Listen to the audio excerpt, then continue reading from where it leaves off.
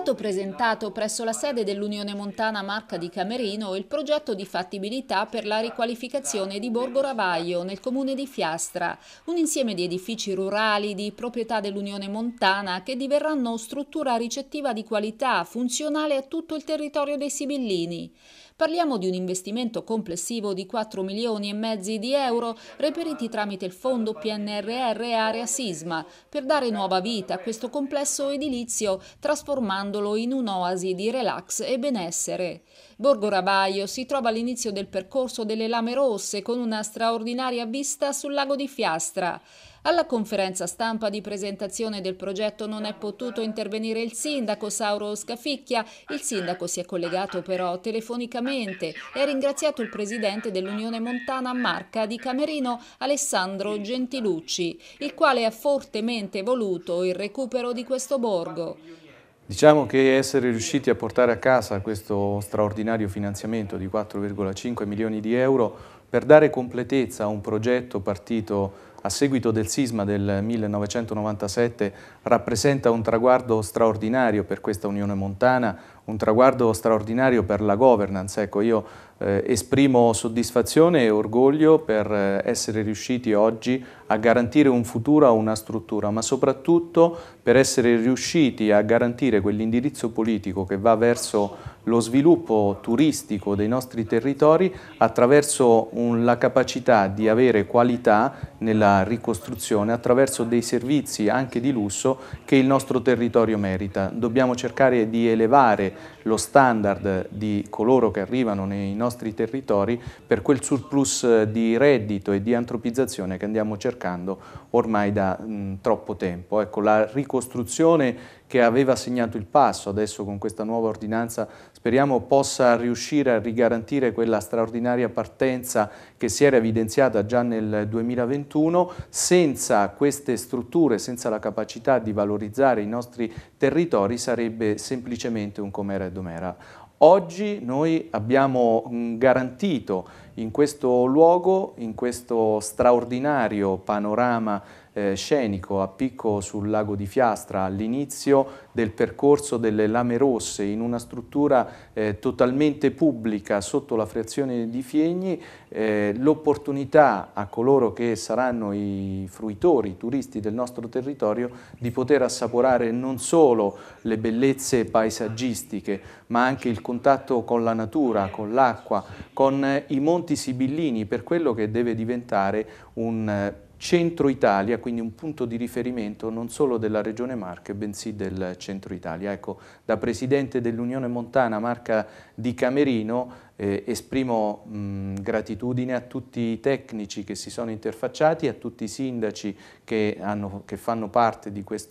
nostro, di, questa nostra unione che eh, unanimemente abbiamo deciso di indicare le linee guida per questa progettualità.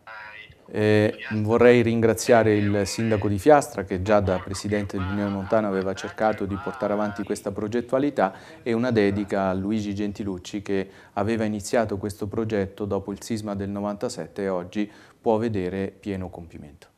Momento importante, l'hai detto, è importantissimo. Noi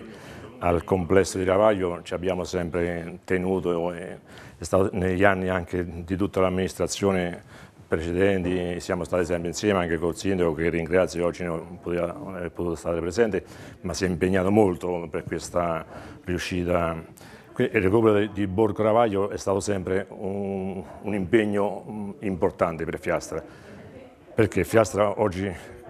cosa può fare? Deve puntare per forza sul, sul turismo, sul, non ha più altre ha cambiato l'economia, il lago ha cambiato l'economia, non, non, ci sono altre eh, possibilità, è il, è il, turismo, Fiastra è il turismo. E recuperare Borgo Ravaglio completa perché sta proprio su un posto particolare. Eh, come dicevo, Borgo Ravaglio sta nel parcheggio della partenza per le Lame Rosse. Lame Rosse è un punto di riferimento non solo ormai per Fiastra, ma per par per par del Parco dei Sibillini, ma per l'intera regione quindi eh, Borgo Ravaglio sta là ed è importante veramente riuscire a, a, farci, a farlo funzionare. Intanto si, si eh,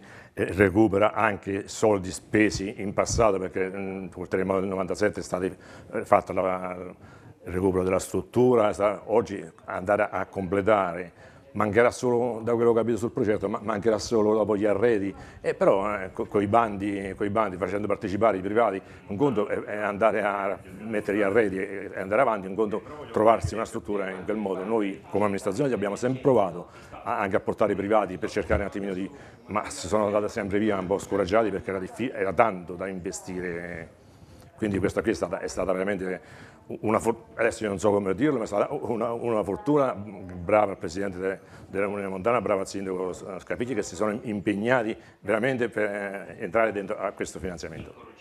Il progetto, realizzato da Archistudio, è stato illustrato dagli architetti Enrico Frezzi e Andrea Pierigé e prevede la riqualificazione di quattro fabbricati già oggetto di precedente intervento di ristrutturazione a seguito del sisma del 97. I fabbricati potranno contenere fino a 45 posti letto con servizi benessere sia singoli che comuni e un'attività di ristorazione. Il tutto realizzato secondo le più innovative soluzioni per il risparmio energetico e l'utilizzo di fonti rinnovabili. Approvato il progetto e appaltata la gara, l'ITER prevede che i lavori si concluderanno entro il 2024. Ma è un lavoro interessante, molto stimolante per noi architetti perché recuperare vecchi borghi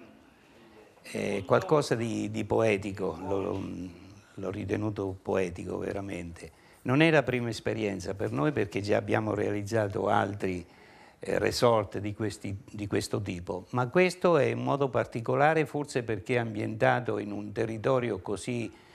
eh, particolare e bello, ci ha coinvolti e trascinati. In questo recupero e dando uh, una destinazione che in origine era quella residenziale, rurale, con la tipica casa eh, diciamo del, sotto eh, organizzata come stalle, magazzini eccetera e sopra le abitazioni, oggi le abbiamo dato una nuova destinazione, una nuova funzione, quella eh, ricettiva, turistica, perché il territorio lo merita, lo chiede, c'è molta carenza e siccome stanno rivalutando la nostra montagna, abbiamo subito pensato che la destinazione più immediata era quella ricettiva. L'abbiamo trasformato in un resort di livello medio-alto, organizzando un certo numero di camere, non forzando le superfici, ma anzi cercando di mantenerle più,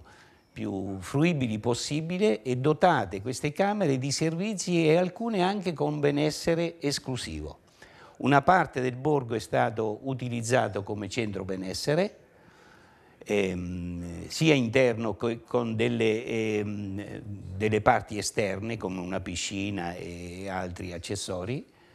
e per il resto uh, l'edificio più grande eh, ha ospitato anche una zona ristorante, non,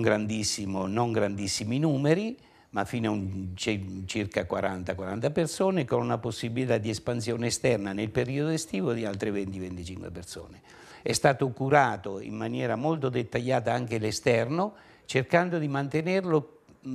più naturale possibile, non eh, facendo eh, opere invasive, ma anzi i percorsi di, di, debbono essere, l'abbiamo pensati,